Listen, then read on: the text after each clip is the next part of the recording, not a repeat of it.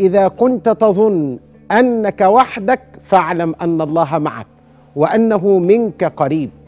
إذا كنت قد غلقت في وجهك الأبواب فربك قريب.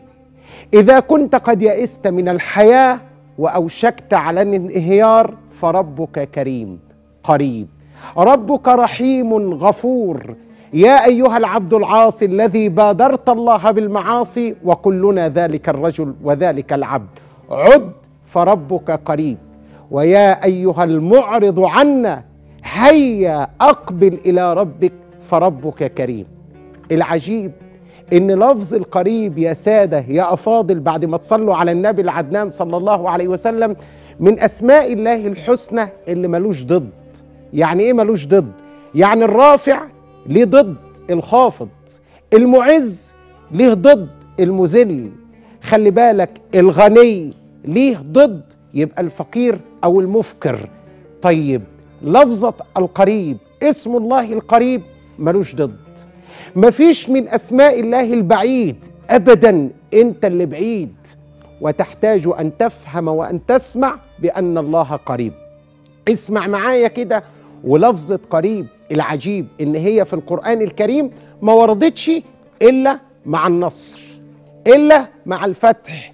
إلا مع البشرى إلا مع كل خير. حتى لفظة الساعة اللي هي القيامة لفظة خير. لأن وما يدريك لعل الساعة قريب. الساعة دي لقاء الله سبحانه وتعالى.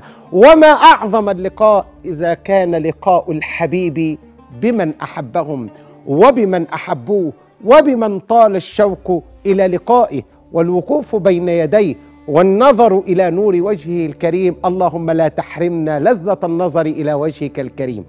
اسمع معايا كده في كل أسئلة القرآن. عندك 14 سؤال في القرآن الكريم. ركز معايا. 14 سؤال في القرآن الكريم. ما فيش سؤال من الأسئلة دي إلا ما ربنا يسأل النبي ويقول له. لما يسألوك قل له. قل أو فقل. ركز كده. خلي بالك.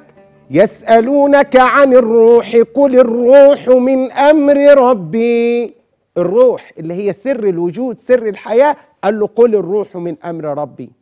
مش كده وبس. ويسألونك عن الجبال فقل ينسفها ربي نسفا. لما يسألوك عن الجبال وحالها فقل. لكن الآية الوحيدة اللي لا جه فيها قل ولا فقل لفظة واحدة في القرآن الكريم سؤال واحد في القرآن الكريم في سورة البقرة اسمع ربنا بيقول إيه؟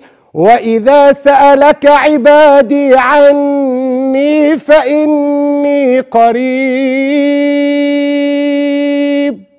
يا الله ما أجملك ما أروعك يا رب ما أعظمك ما أقربك لكني أنا البعيد.